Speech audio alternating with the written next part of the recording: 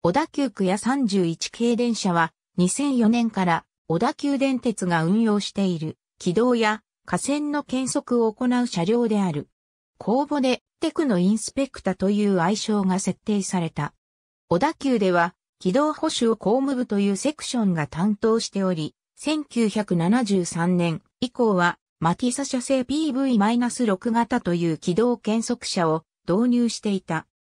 しかし、この PV-6 型は機械扱いであったために列車が運行している時間帯には使用できず、使用可能な時間帯が終電後に限られていた上、検測するための速度も時速 25km に過ぎず、前線の検測を行うためには7日間を要していた。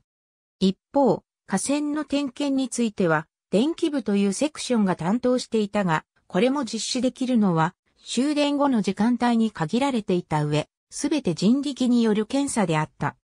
その後 PV-6 系の老朽化が進み、代替車両を導入することになったが、この際に両部門の言っている検査を日中に行うことが可能で、しかも通常の列車と同じ扱いで運用できるような車両を製造することになり、登場したのが、クヤ31系である。クヤ31型は、全長20メートル級の制御車である。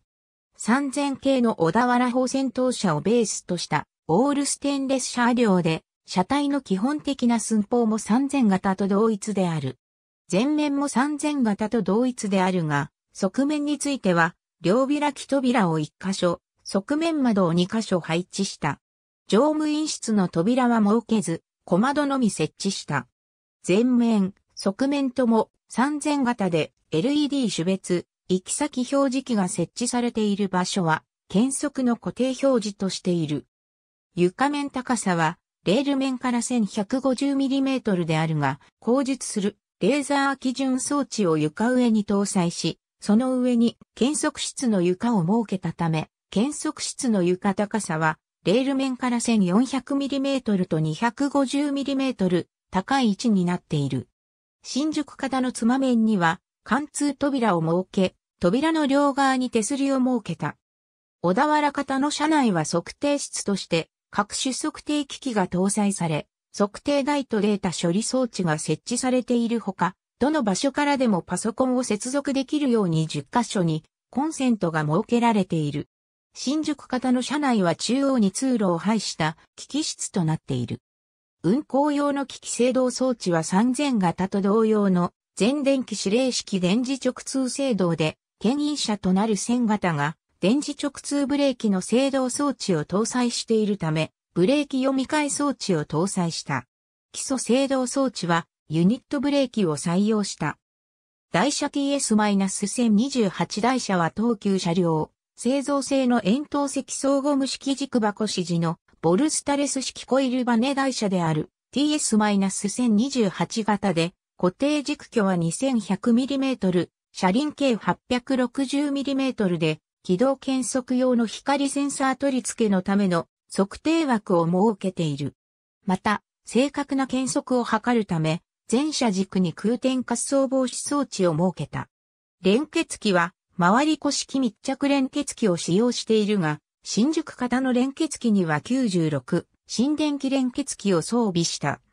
冷房装置については、1500キロカロリー、H の能力を有する CU-195、B 型集約分散式冷房装置を2台搭載した。乗務員室は小田原型にのみ設けられている。運転台は3000型を基本としているが、モニタ装置は搭載しておらず、代わりにブレーキ管と直通管の圧力計が配置されている。また、車掌スイッチも設置されていない。補助電源装置は搭載しておらず、牽引車となる線型から参照、交流 200V の供給を受け、これを参照、交流 200V、単層交流 100V、直流 100V に変換する参照変圧器を搭載する。測定用の機器検測室の床下には、レーザー基準装置が設けられた。これは、レーザー発信機と受光機3台で構成される。受光機の情報によって、車体のたわみを測定し、検測走行で取得したデータに反映するための装置である。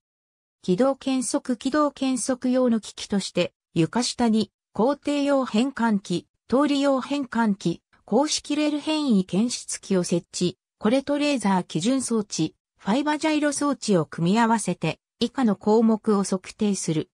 このほか、同様加速度検出器を使用して、列車の動揺についても測定を行う。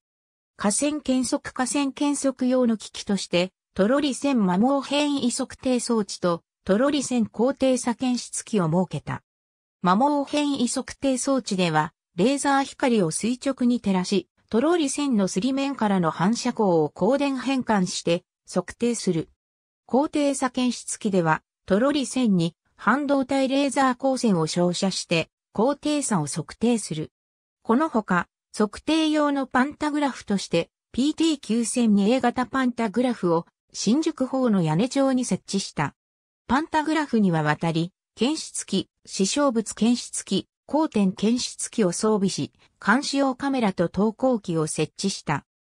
このパンタグラフでは、主軸の回転角度をもとにして、トロリ線の高さを、視象物はマイクロスイッチを使用した視象物検出機により、上下方向の加速度計を用いた光点検出機で架線の光点を河川電圧からリー線を測定する。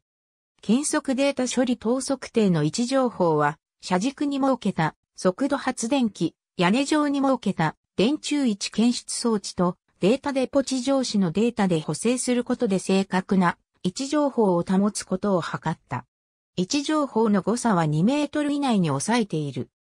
測定室では3台のモニタ画面を設け、走行状態、パンタグラフ状態、波形の検測データを表示するほか、トロリ線ズリメントパンタグラフ動作状態はデジタルビデオに収録される。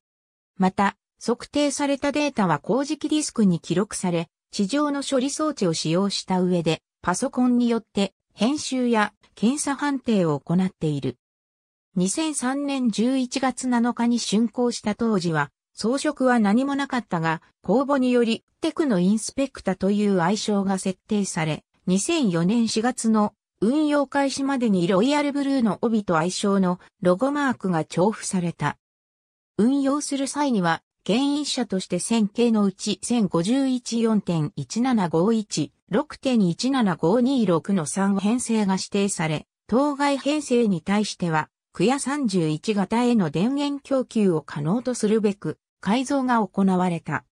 前線を2日で検測を行い、2010年時点では月に2回程度の運行を行っていた。2016年時点では毎月中旬の土日の2日で全線を運行している。ありがとうございます。